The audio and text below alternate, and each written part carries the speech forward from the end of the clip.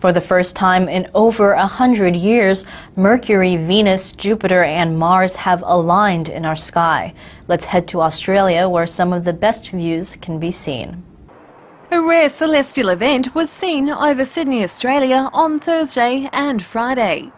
Mercury, Venus, Mars and Jupiter were aligned together in a pre-dawn spectacle that only occurs every 50 to 100 years. It is unusual. The last time we had these four planets together was in 1910, but they were too close to the Sun to be seen with any detail. Skywatchers gathered on Friday outside the Sydney Observatory to observe the four planets coming together within a few degrees of each other. While it can be seen with the naked eye, a telescope or binoculars are recommended.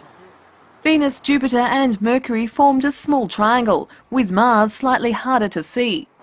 The astronomical event will continue throughout the month of May, with the planets changing their positions from day to day, forming various interesting patterns in a planetary dance.